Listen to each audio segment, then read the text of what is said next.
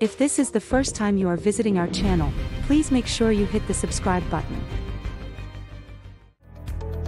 Fuel cells, when coupled with hydrogen, are clean, reliable, and efficient energy sources. Water is the only byproduct. They work like batteries but do not need recharging if there is a constant source of fuel and oxygen. Fuel cells can power everything from cars to buildings. Cost and durability are the major challenges to fuel cell commercialization. However, hurdles vary according to the application in which the technology is employed. Size, weight, and thermal and water management are barriers to the commercialization of fuel cell technology. In transportation applications, these technologies face more stringent cost and durability hurdles. In stationary power applications, where cogeneration of heat and power is desired, the use of polymer exchange membrane fuel cells would benefit from raising operating temperatures to increase performance. The cost of fuel cell power systems must be reduced before they can be competitive with conventional technologies. Currently, the costs for automotive internal combustion engine power plants are about $25 to $35 per kilowatt, for transportation applications, a fuel cell system needs to cost $30 per kilowatt for the technology to be competitive.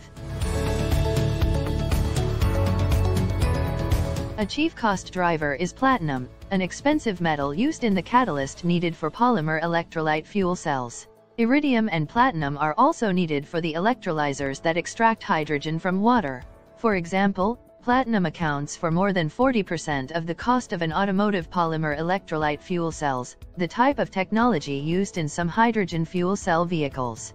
Replacing platinum with catalysts containing earth-abundant elements such as iron, carbon, and nitrogen could cut costs. If you want us to make this kind of video, make sure you comment below and do not forget to subscribe. The durability of fuel cell systems has not been established. For transportation applications, fuel cell power systems will be required to achieve the same level of durability and reliability as current automotive engines and the ability to function over the full range of vehicle operating conditions at 40 to 80 degrees centigrade. The size and weight of current fuel cell systems must be further reduced to meet the packaging requirements for automobiles. This applies not only to the fuel cell stack but also to the ancillary components and major subsystems, such as the fuel processor, compressor, expander, and sensors, making up the balance of the power system. Air management for fuel cell systems is a challenge because today's compressor technologies are not suitable for automotive fuel cell applications. In addition, thermal and water management for fuel cells are issues because the small difference between the operating and ambient temperatures necessitates large heat exchangers.